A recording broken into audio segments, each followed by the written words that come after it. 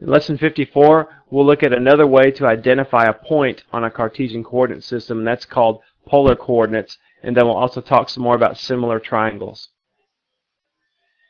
Part A of this lesson is on polar coordinates, and to understand those, it's a good idea to review what rectangular coordinates are and apply those to understanding polar coordinates. All it is is a way to identify a point. It's a different way to identify a point. And so let's just start. Say, for example, we had this point, 4, comma 2. Now, there's another way just to write rectangular coordinates. You know, when we do 4, comma 2, we go to the right 4 and up 2, and we locate that point. So we could just write this 4r plus 2u. That's another way to write rectangular coordinates. So that's something we'll be describing in this lesson.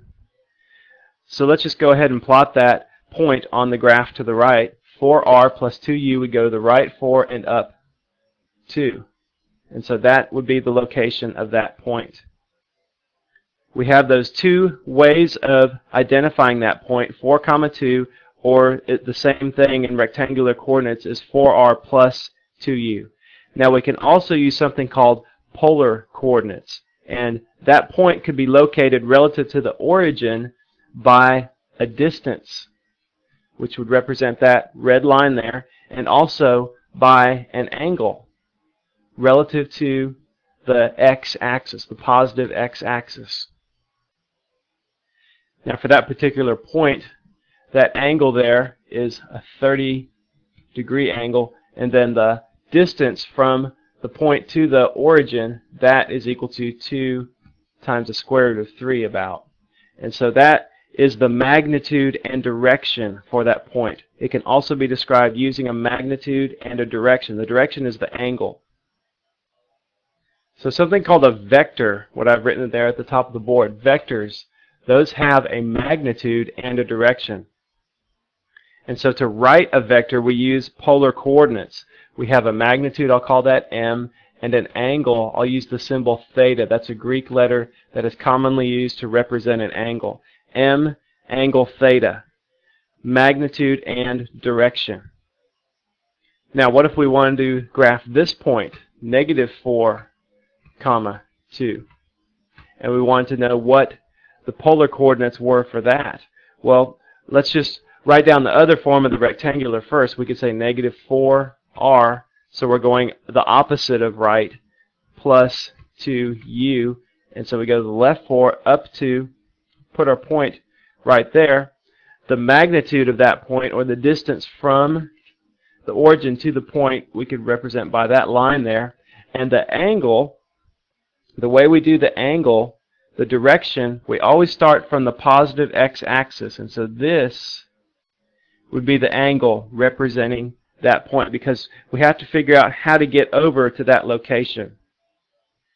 Think about the magnitude line, that red line that I have drawn from the origin to the point. Think of that like as a pencil. And if you took your pencil and you put the eraser at the origin and you laid it flat along the positive x-axis, you would just pivot it around to get to that point.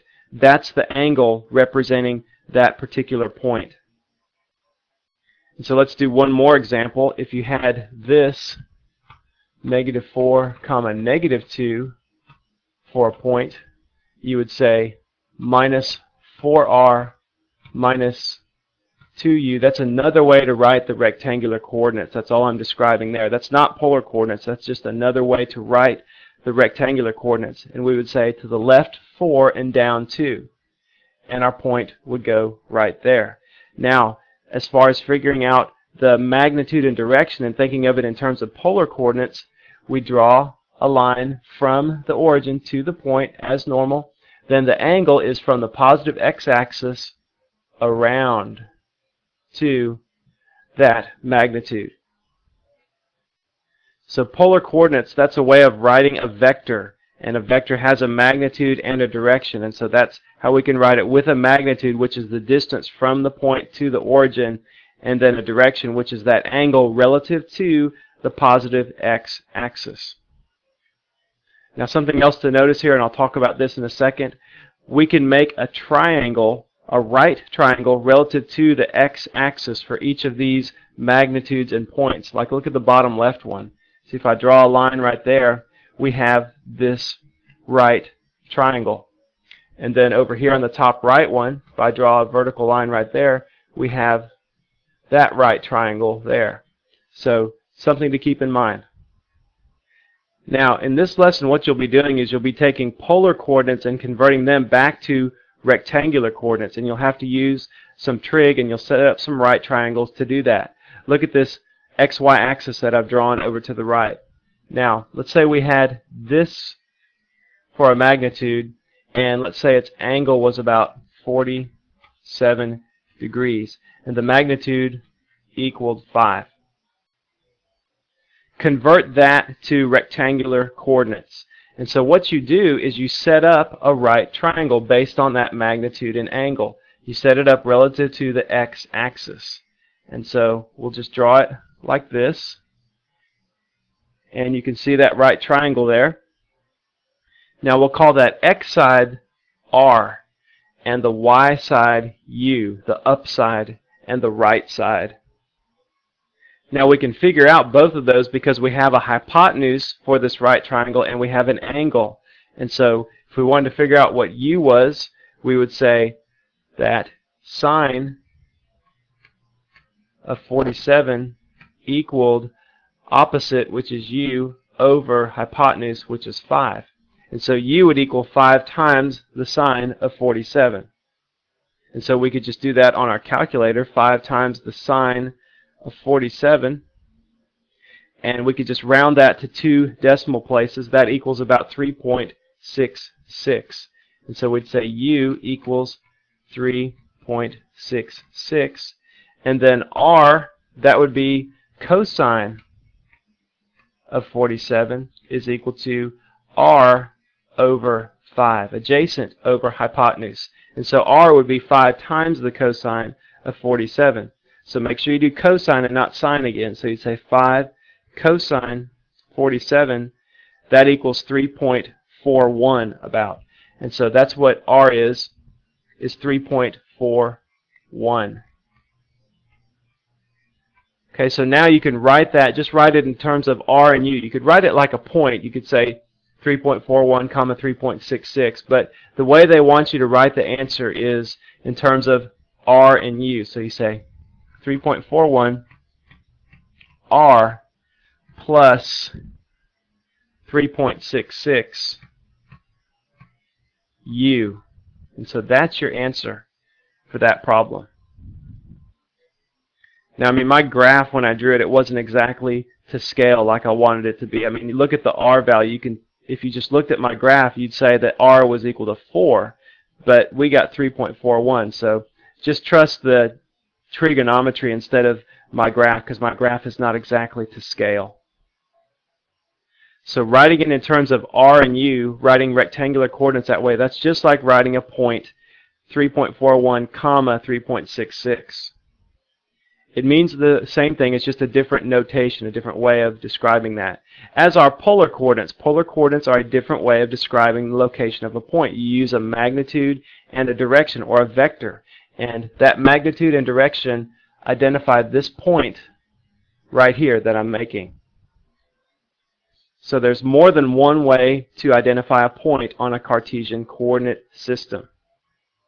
Let's go ahead and do some practice problems. Practice problem A, I want you to convert that to rectangular coordinates.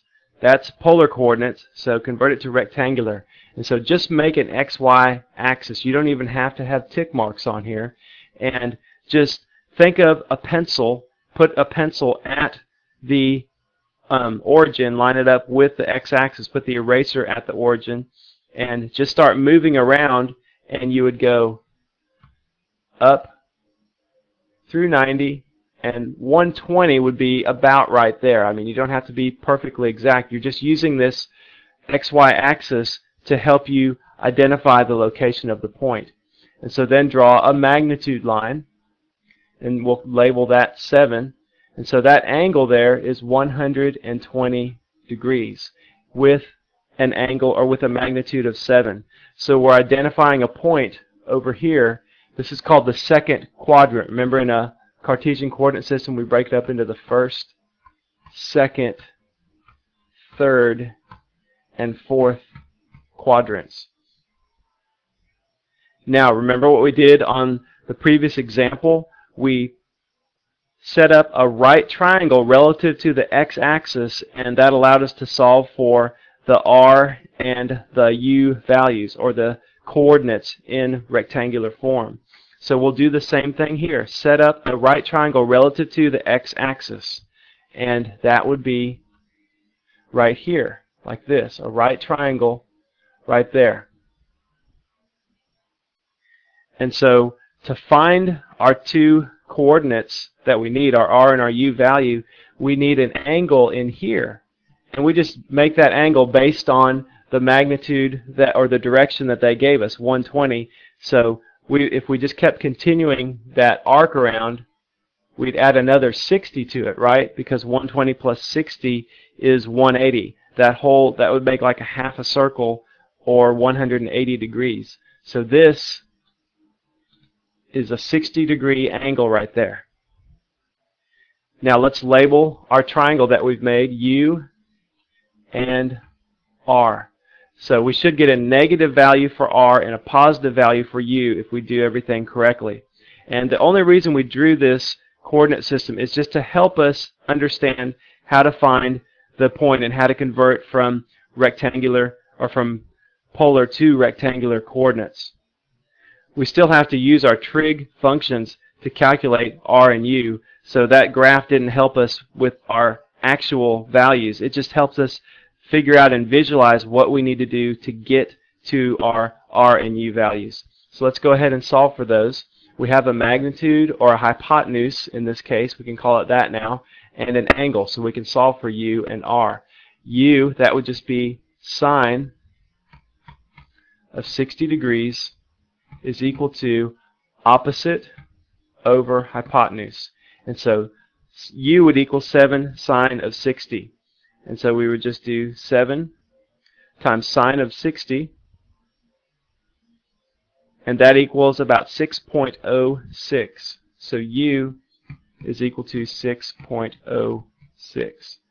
Now, let's do r, and we would say cosine of 60 is equal to r over 7.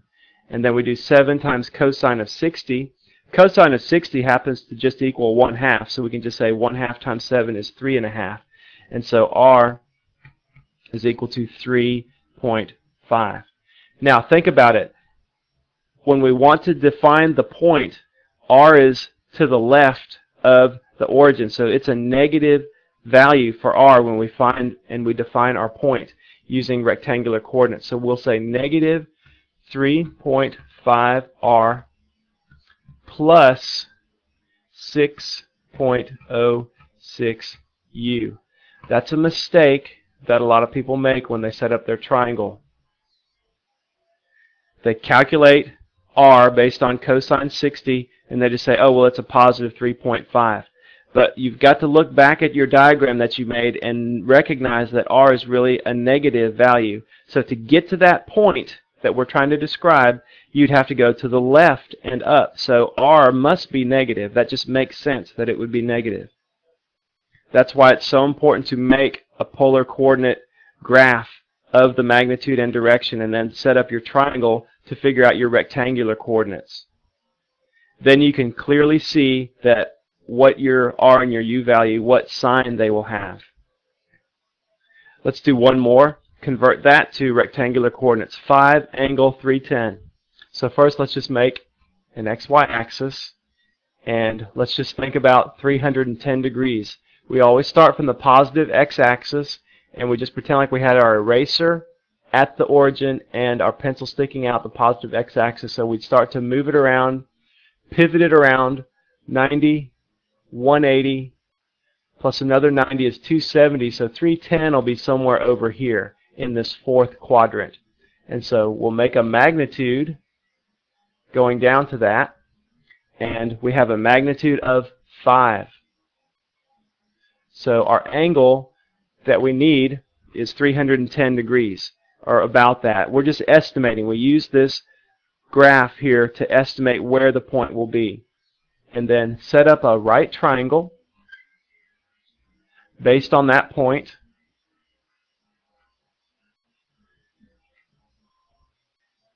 And so this angle in here is what we need to know for our right triangle.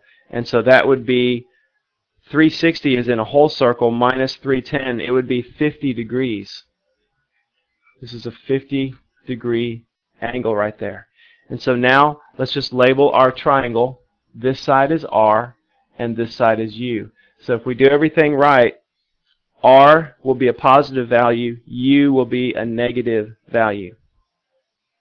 Let's go ahead and solve for R and U.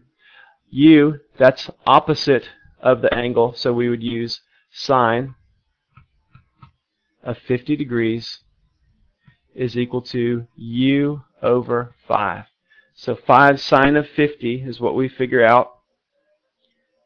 5 times sine of 50. And so that's about 3.83. U equals 3.83.